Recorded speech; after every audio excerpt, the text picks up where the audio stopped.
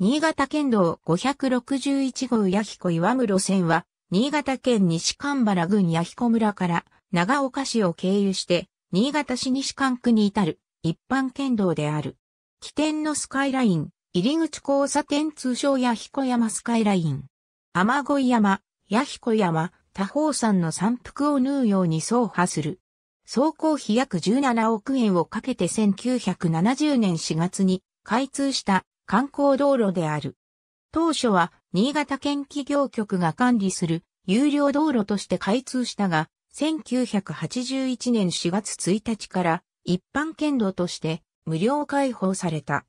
現在、新潟県内には高速道路を除けば有料道路は存在しないが、弥彦山スカイラインは県企業局が管理する初の有料道路だった。沿線は日本海、佐渡島、越後平野など風光明媚な眺望が楽しめることで知られ、新緑や紅葉の時期の美しさは県下有数。連続するヘアピンカーブで急勾配を上り下りする、つづら折りの名所、大路坂は沿線最大の難所として知られる。弥彦山スカイラインは観光目的の道路であり、迂回ルートも多いことから、午後11時午前5時は夜間通行止めとなる。また事故防止のため大型貨物車と二輪車は終日通行止め。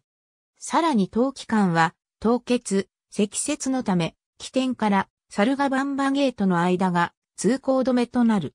本路線のルートとなる弥彦山は新潟平野の西部の日本海沿岸に位置し、頂上には弥彦神社があるほか回転昇降展望塔、パノラマタワーがある。